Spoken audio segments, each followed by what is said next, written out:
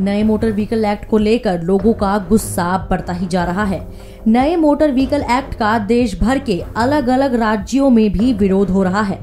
हड़ताल का आवाहन करने वाले संगठन यू में ट्रक, बस, ऑटो, टेंपू, मैक्सी कैब और टैक्सियों का दिल्ली एनसीआर में प्रतिनिधित्व करने वाले 41 यूनियन और संघ शामिल है।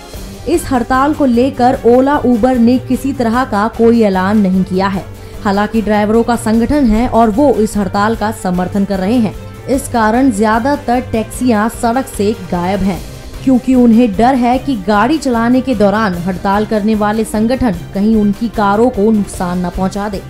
केंद्र सरकार द्वारा बढ़ाई गई ट्रैफ़िक चालान की धनराशि से राज्य सरकारों में कोहराम पहले से मचा है।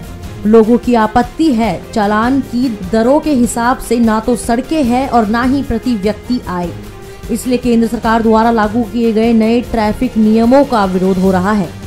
जानकारी के मुताबिक कई लोगों को अपने बच्चों के स्कूलों से संदेश मिला है कि गुरुवार को स्कूल्स बंद रहेंगे। गैर सहायता प्राप्त निजी स्कूलों की एक्शन कमेटी के महासचिव भरत अरोड़ा के मुताबिक ट्रांसपोर्टों की हड़ताल के कारण अधिकतर स्कूलों ने छुट्टी का ऐलान किया है।